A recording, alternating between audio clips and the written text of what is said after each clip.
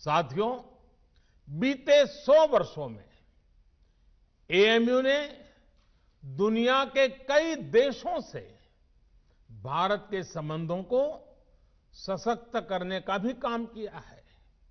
उर्दू, अरबी और फारसी भाषा पर यहाँ जो रिसर्च होती है, इस्लामिक साहित्य पर जो रिसर्च होती है, वो समूचे इस्लामिक वर्ल्ड के साथ भारत के सांस्कृतिक रिश्तों को नई ऊर्जा देती है।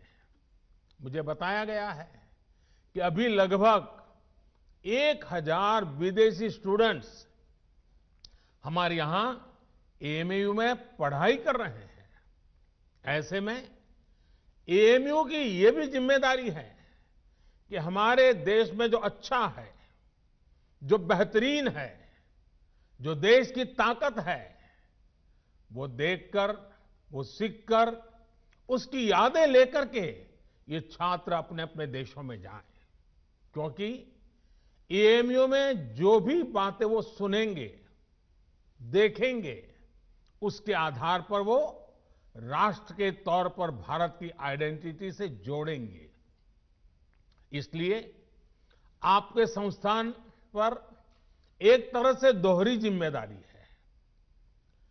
अपना रिस्पेक्ट बढ़ाने की और अपनी रिस्पॉन्सिबिलिटी बखूबी निभाने की।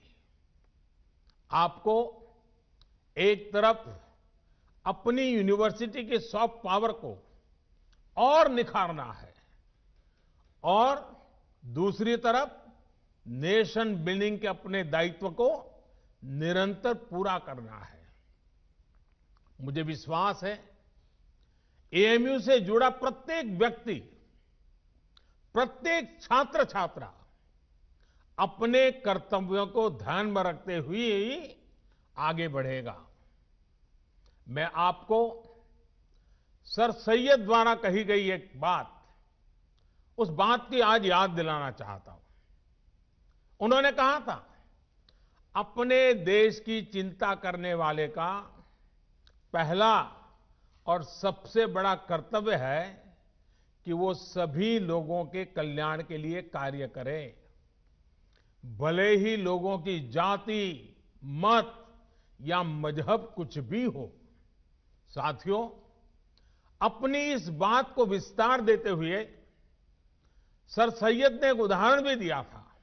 उन्होंने कहा था, जिस प्रकार मानव जीवन और उसके अच्छे स्वास्थ्य के लिए शरीर के हर अंग का स्वस्थ रहना ज़रूरी है।